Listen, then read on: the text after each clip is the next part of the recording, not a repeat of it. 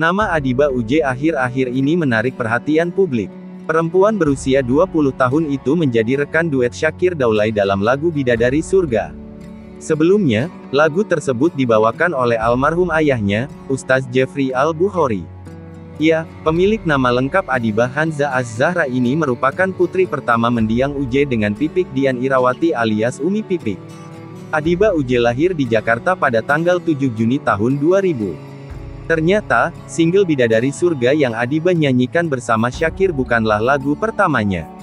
Pada 2013 lalu, Adiba Uje pernah berkolaborasi dengan penyanyi religi Opik. Keduanya menyanyikan lagu berjudul Terima Kasih Ayah.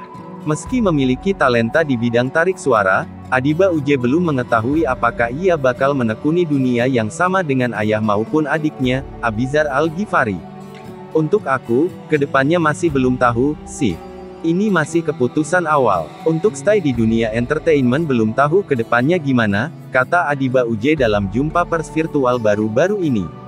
Ya, untuk saat ini Adiba Uje masih memiliki prioritas lain.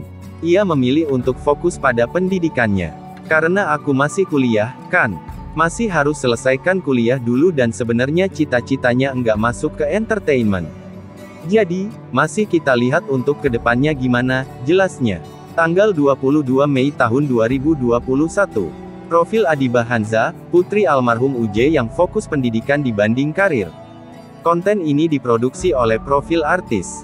Profil Adiba Hanza, putri almarhum UJ yang fokus pendidikan dibanding karir. Putri almarhum, Ustaz Jeffrey Al-Bukhari, Adiba Hanza alias Adiba UJ. Foto, Instagram adiba.kenza. Nama Adiba UJ akhir-akhir ini menarik perhatian publik. Perempuan berusia 20 tahun itu menjadi rekan duet Syakir Daulay dalam lagu Bidadari Surga.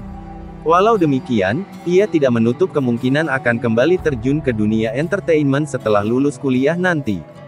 Terlebih, kolaborasi Adiba Uje dan Syakir Daulay mendapatkan respons yang positif dari para pendengar. Keduanya bahkan berhasil membuat banyak pendengar larut dalam perasaan. Tak ayal, mereka dijodoh-jodohkan oleh netizen. Menanggapi hal ini, Adiba Uje menuturkan bahwa hubungan ini dirinya dan Syakir Daulay hanya sebatas teman. Sementara itu, Adiba Uje juga terbilang eksis di media sosial, lo. Akun Instagram pribadinya sudah verified dan diikuti oleh lebih dari 780 ribu follower. Berdasarkan foto-foto yang diunggahnya, ia terlihat modis dalam berpakaian.